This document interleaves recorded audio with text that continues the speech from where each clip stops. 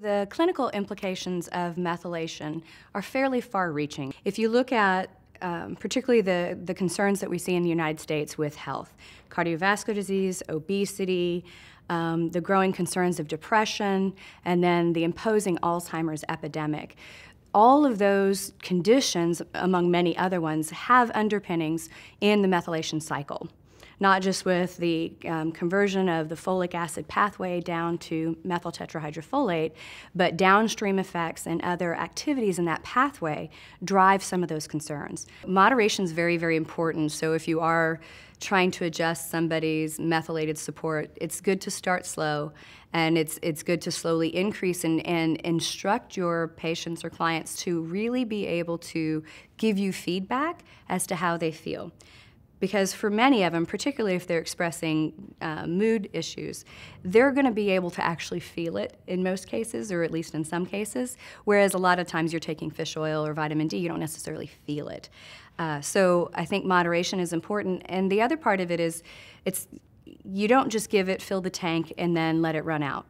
So it's something that you slowly fill the tank, you go slow, and then you really probably need to support it long term.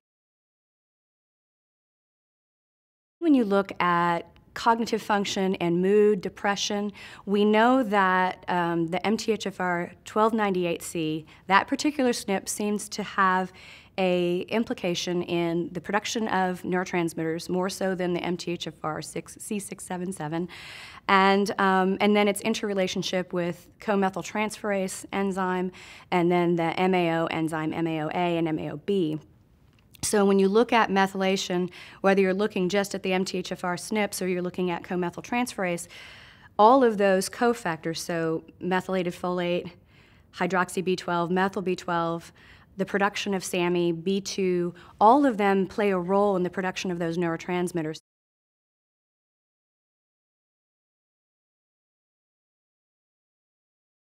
When you convert homocysteine down, so we make methionine, homocysteine. The next pathway down from that is CBS. So CBS is the start of transsulfation. So that's, that's where we start to move all of our sulfur groups and, and start detoxifying them. In those that are upregulated for CBS, so that enzyme runs quickly. Um, what happens is, is they make homocysteine and they rapidly turn it over. So they're never going to have high homocysteine on a lab. But what's interesting is as it goes down that pathway, the next step in that pathway, it becomes cysteine and cysteine. Oddly enough, is an independent risk factor for obesity with no other comorbidities or no other um, implications on that pathway. So people that have elevated plasma cysteine have a higher risk of obesity and metabolic syndrome, with that being the only marker. It's been clear in studies in rats. It's been clear in studies in humans. They actually did a study in Sweden, and I can't quote it completely, but they had 18,000 people that they segregated by genetics. And those with high cysteine actually had a higher risk of obesity.